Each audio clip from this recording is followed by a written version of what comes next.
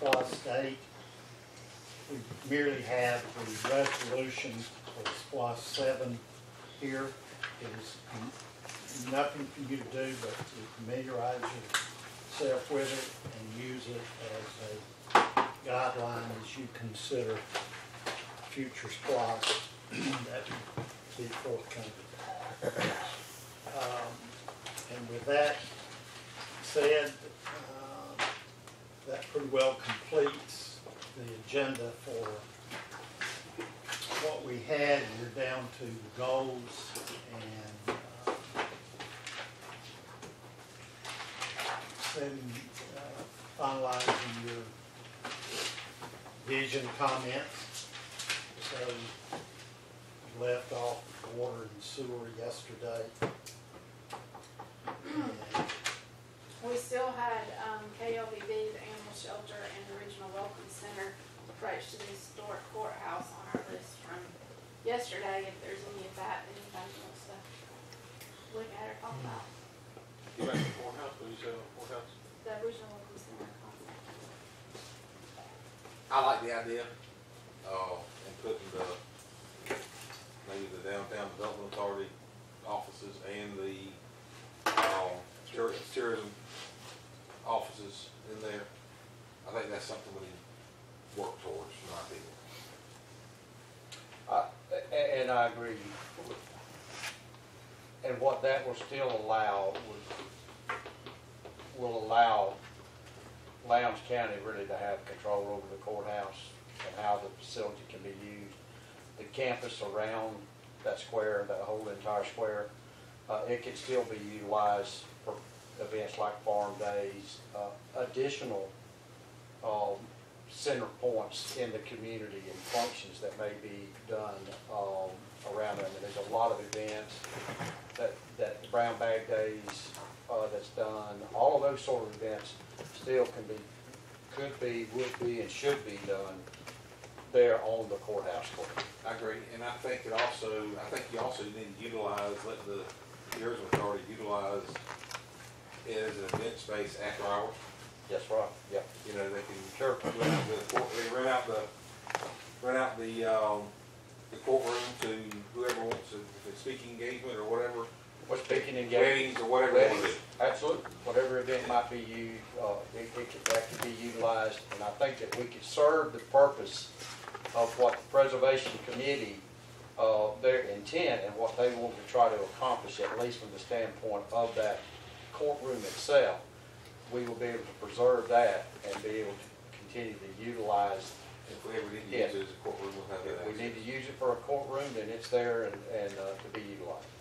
So the DDA, Main Street, tourism, those are the three uses that we're talking about? That's the three basic uses that we probably would start with. Are there other, some other uses that might be developed and might have an interest? There could be. That's Ellen Deal. Is Main Street, Main Street's So- not a, not a department within, ci- within the city? And, and, and there's two staff members for Main Street right now, Ellen and her assistant. And then in the DDA, do they currently have an office?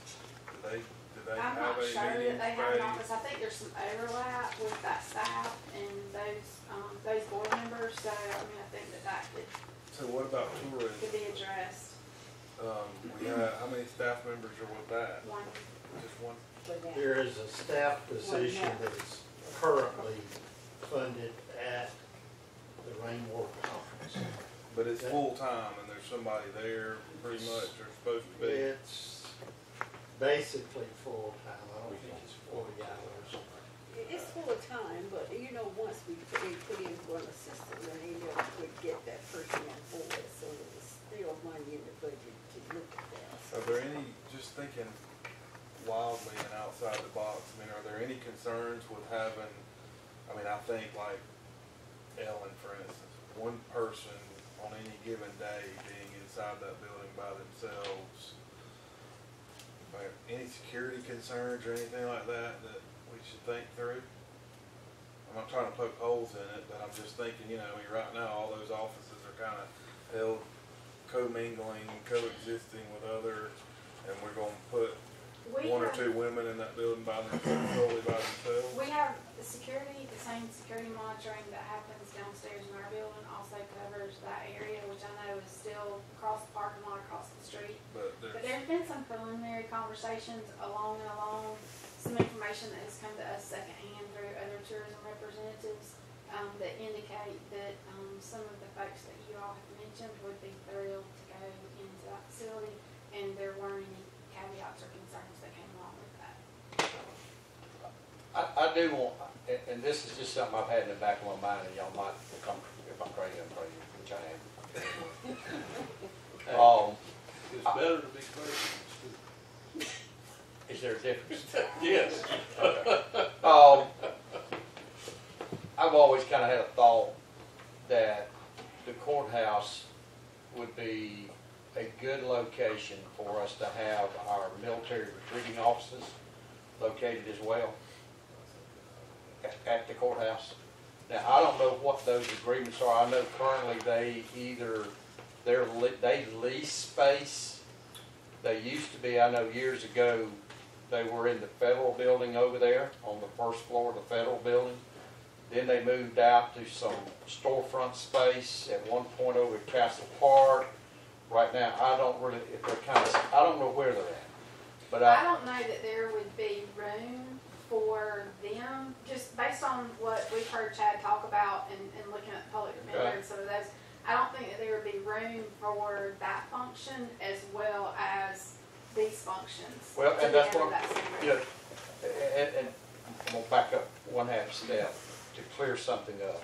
Yesterday, the recommendation came up for Mr. Mr. Pritchard that Scotty and I participate with the architects, uh, and with Chad on the development of the historic courthouse.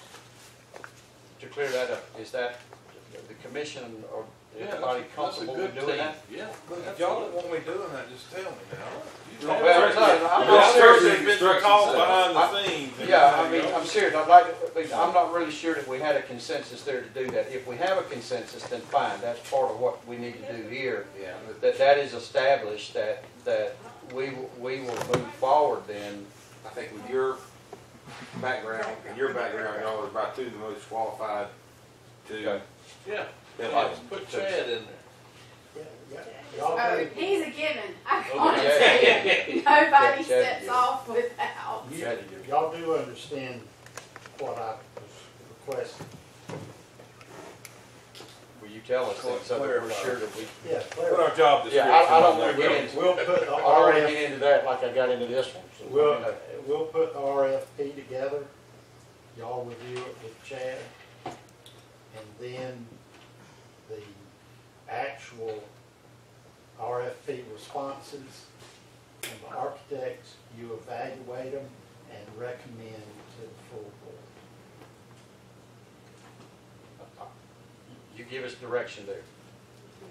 That, That- That's as simple as that, right, Jeff? Yeah. Okay. yeah, that's simple. Go ahead, yeah, that's. Just remember, No, these I- are the architects you're gonna be working with. I know, listen, I, I, I have been there and done that, and I know exactly what you're saying. But- but here- He has too. so- Okay, but, but, and let, let's stop right there, and, and I get that. But the biggest issue here, it doesn't matter who it is, and who is selected as the architect. At some point in time, we're gonna have to finalize who is going to utilize that facility. I mean, that's been part of the issue all along, so that we can give, or Chad or somebody can give direction to the architect as far as how's it gonna be laid out. If you look at what you current, what I currently recommended, you've got four corners of that, Okay. of the courthouse. You've got probation on, when you walk through. the Probate court. Probate court. Correct. On the left.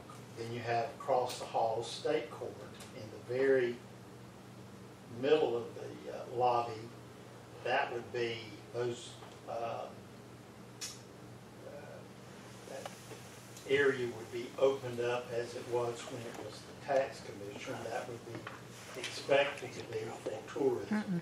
Then you've got the north, uh, east corner, which was at one time Sheriff. sheriff, and then it became part of magistrate. And then the main part of magistrate was in the southeast. So with those being the office areas, I think it would be fairly reasonable to expect that it's just gonna be basic offices. There's nothing special about the design or the use of that. Once that first floor uh, or basement is then the rest of that is going to be just office area. You're, if you do a regional welcome center, That's that main area. you gotta have some room for brochures and display stuff.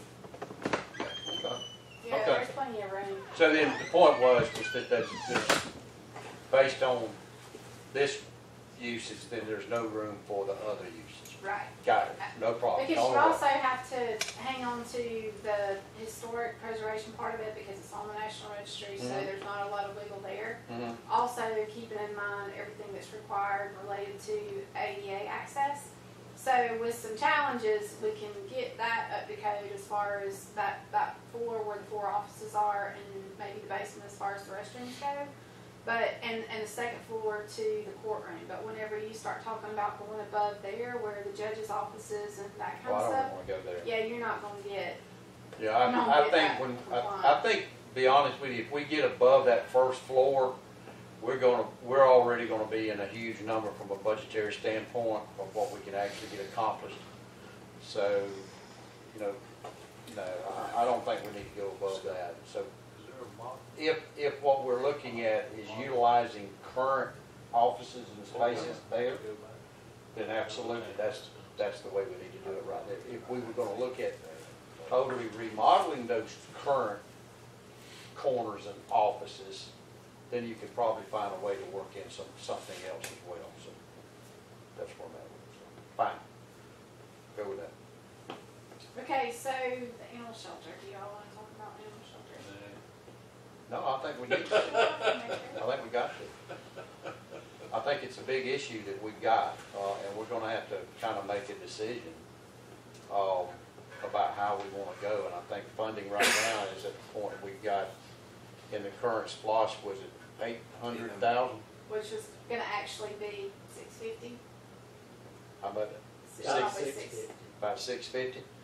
Well, based on the information that we know, and I- if I got it right, Joe, I mean, part of the recommendation is carry that six fifty over and push the actual animal shelter as we feel like we would really, I mean, just a whole new facility into some additional requests in SPLOST eight? Or do we take the six fifty and do phase one and then ask for phase two in SPLOST eight? I would ask that you consider using the six fifty to build the uh, facility for housing of the animals, leave the staff in their current uh, office area, and then in your next splost, put your office area, your addition, that, that addition onto the front, or whatever way it's designed, but probably on the front. And I would rather consider spending the money on the animals first. Can we do, can we build the animal containment area for six fifty? Well, we think, we think, but Right. we're, Well, no, and I'm sorry, I'll, I'll pop it. Yeah, I mean, But, but if, if we do it that way, I think an important aspect of what we're trying to accomplish, rather than keep pushing things off, if we're talking about SPLOST eight in twenty twenty and after, Yeah. then can we, is it feasible that between now and really 2021, 22, uh, before we could actually do something, is it feasible to take the current facility like you're talking about, continue to use that for administrative, patch it up, doctor it up, whatever we can to temporarily use it for administrative, build a new animal facility next to it, behind, however that, how it works out. but then utilize the exert, the existing facility as well for an adoption area, so that you have a separation between the animals that you actually are housing and caring for and doing that, to where you've got an area that the citizens can come into the administrative side of it. Here is the animals that's for adoption today. You know, it wouldn't take near as big an area. And then at the end of the day, you can always move those animals back out to where their normal area is. I think Chad's gonna recommend to you, based on his comments yesterday in his discussion with me, that because of those walls being load-bearing and they're deteriorating, uh, you're not gonna be able to utilize that space for a very long period of time. And the foundation is already sinking, so the whole, the full recommendation is, once you get the facility built, that you won't go in there and tear what's left down and remove the slab. I agree, and I, and that was my concern too, because of all, I mean, you- you- I don't think you can go in there and patch what's there, because it is all structural, all that Hubble, Hubble block was, it, it's bearing the weight of everything above it, so, And, and that and then we attic area was actually, uh, some of it was, uh, I was Finished. there, I was there when you built it. finished out, I'm not finished, but it was laid out for offices up there. Which is totally not Uh. I mean, I don't know what from they the were thinking county's of that, the but that's what they had. Well, the other issue too is for the existing area, as long as you've got animals in there and that floor's got to be clean because of the design underneath that floor and because of the wrong type of traps and stuff that were put in for that water. The only way to clean the shelter is to flood it. They flood it every day, That's why all sometimes the twice hollow a day. metal frames and all, And and that's some why of the everything's rusted deterioration of out. that block is because it's being flooded. And it was never sealed properly. Okay. I, So I, what I'm just cost asking, us to I'm trying, what would I'm just, to build I'm just throwing it out there because I would say, Scotty, you correct me, you and Bill, if you're talking about, you know, we had initially eight hundred thousand, you're probably gonna be close to a million dollars to do, maybe a little over. Some of the ones that, that For a I've new looked at Yeah. Okay. that were really nice were, Okay. were two million dollars. I Yeah. mean, they were, they were, you know, I'm not saying they were top of the line, state of the art, house, a hundred plus animals, but I, but I would think that for half of that, we could build something that's, that's adaptable to the fact that, you know, you could go on and, and, and extend the, the rear of it for additional animals down the road. or- How uh, much support will you get from the um, animal support community? They're ready. They're ready. Yeah, If you say, you know, we don't have enough money, so what we're gonna do is set type of what we got, and we'll put it on the next splost.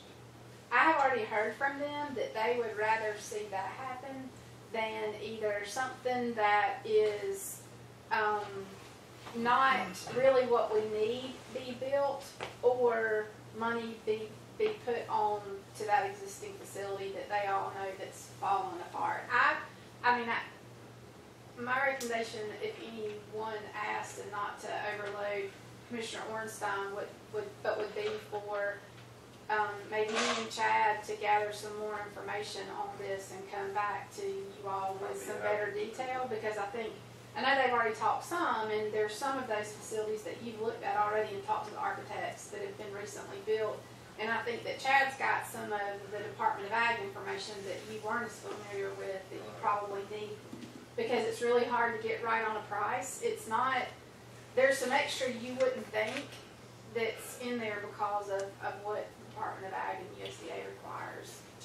Yeah, there's a firm in Georgia that specializes that, and they already have probably eleven or twelve designs that range from a million to seven million, that they're basically saying, you know, we're not gonna give you these drawings, but we've already invented that wheel, and there is some cost savings by, Well, and the budget numbers already assigned to those too, you know.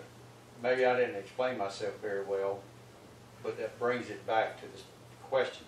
if we're going to look at the fact that we don't have enough money now, six hundred and fifty thousand dollars to build a new facility, then do we need to take some of that and at least do some, I'm not talking about expensive pat, but do some patching to the existing building? Because we're gonna be there for four or five more years if we're gonna build a whole new facility. He's patched it. Chad spent, what did they spend? We had a little money in a, in a previous loss that, um, when we thought that we were gonna be able to remodel the existing before the report came back from the architect that this is just falling apart.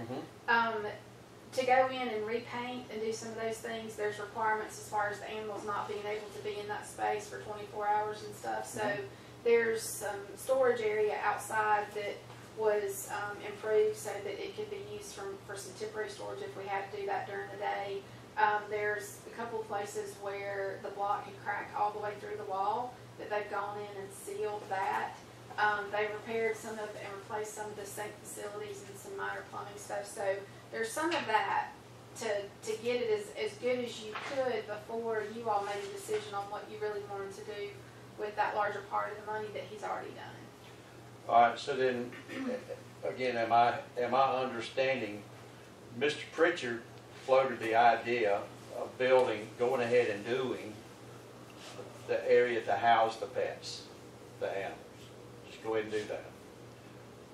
And then when funding is available, which would be the next SPLOST, if, if we can get the next SPLOST and get the funding there, then to finish that construction and do an addition, for example, out on the front end.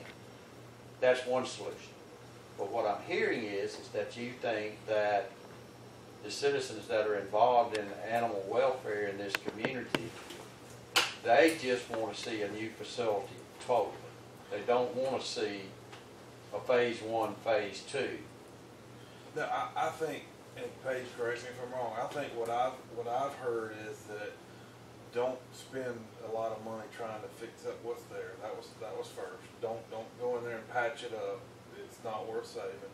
Number two is, if you're gonna spend money building something new, make it part of a ma- of, of a master plan. When we, when we built the jail, the ancillary or support area for, uh, the intake as well as the kitchen and laundry could be expanded by moving two walls. That was the way it was designed for the future.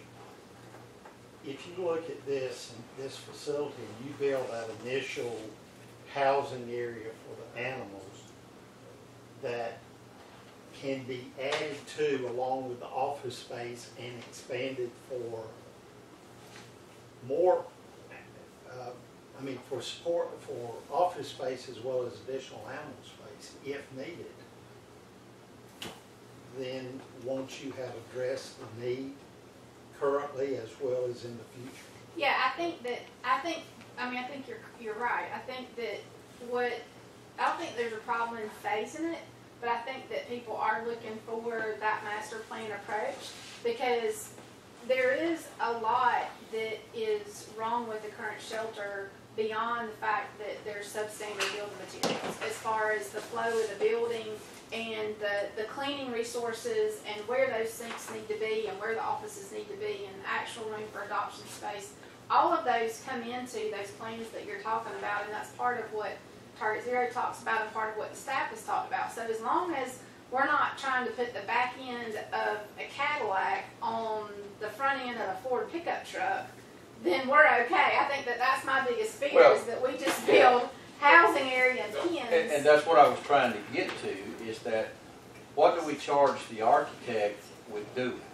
Now, we, we charge the architect in coming up with an overall plan, this is what we want for an animal shelter in Lowndes County.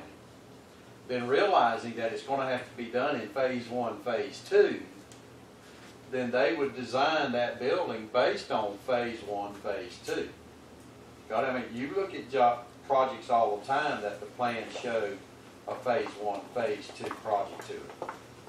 So if that's the direction that we want to go in the animal shelter, then I think that's what we need to state here, is that, you know, it, it would, it we need to, we need to give administration, uh, the direction to move forward with a new animal shelter to meet the needs for animal welfare in Lowndes County for now and sometime into the future. And by doing that, we needed that design to be done in a phase one, phase two process so that we could best utilize the funding that we have today and funding in the future. Alright, what, don't shoot me, but what if we borrowed half a million dollars to do the whole thing now? It costs us, on a ten-year and it costs us about sixty thousand dollars a year to pay it off in ten years. Could the next, could the next loss be utilized to pay off that debt? I think you can utilize block. You have to, it has to be worded that you're using that for debt reduction.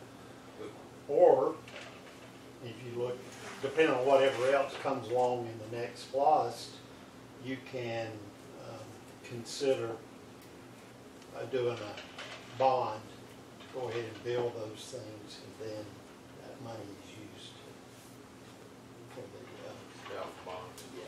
Same way, I mean, so whether you loan it or you a bond, but that may be a better idea than doing a phase one, phase two. Okay, what's the consensus on a scenario of going ahead and obtaining the funding through whatever the resource is that we, that we determine that is, and going ahead and building the animal shelter that we need, that we feel like that we need here in, in Lowndes County? I'd be in favor of that. I think in the long run, you'd come out money ahead. It's always more expensive to build it in three sections versus, I have no objection to that whatsoever. The banker over here might be cringing to try to figure out how he can make that work. But realistically, again, if we have a need, rather than ending up in a situation, because here's reality. We're talking about funding in SPLOST eighteen that may or may not happen. Well, like I said, if you did a ten-year animal, half a million dollars, depending on the rate, you're probably looking at somewhere around sixty thousand dollars a year. So, you know, we can afford. That makes for better budgeting sense as far as I'm concerned.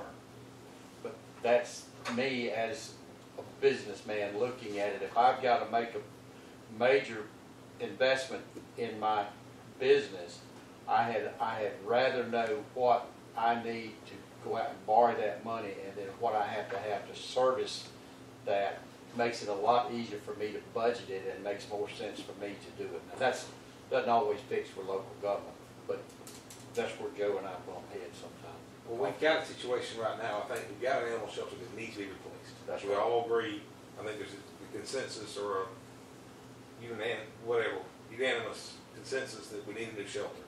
We've got six hundred thousand dollars in SPLOST money that we can use right now. I'd say we either, like I said, borrow or give bonds or whatever we need to do to go ahead and build a shelter like it needs to be built now, be done with it, and then pay it off over a ten-year period. Or if we get SPLOST passed on eight, SPLOST eight passed, then we can use that to reduce the debt we have left. I, I'm all in favor and would support that. Mark, Suits me. But there you go. just Joe's for the turn. education Turning purposes, white over but here. how do you, That's just- how do you, how do you deal with those folks who are passionate about this, who say the, the Humane Society folks and the, and those, those people who would want to contribute? Is, is there any room for any of that? I mean, say hypothetically that you could, that through that community, yeah. you could raise a million dollars to go towards this. That's how you got in the boat you're in now. I don't You- think you. Go over. You don't get Prison. money There's without control. Constraints attached. There's no I such don't thing think as you a want free to go down that path. Okay. This, e- this I either hear you. need, this either needs to be our current Lowndes County model, or it needs to be the Thomasville model. Gotcha. I agree. We I can't, just- I it- it's just- difficult to have both. But I, I do think that, and I can talk to Carol, I do think that there may be some grant funds available, maybe not for the brick and mortar part of the project, but, but for maybe the pins that go in the cat room and things like that. There are grants out there for those things, so it may be some of that resource that we can find out. Okay, Because Okay. grants, we should put that on. so we move on. We know what we're gonna do with the animal shelter. We've given them direction.